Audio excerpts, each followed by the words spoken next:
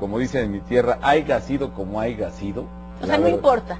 No, no, sí importa, pero, pero yo respeto la opinión que tenga todo el mundo. Muchos se resistirán a pensar por- de que representamos la mejor opción para los mexicanos.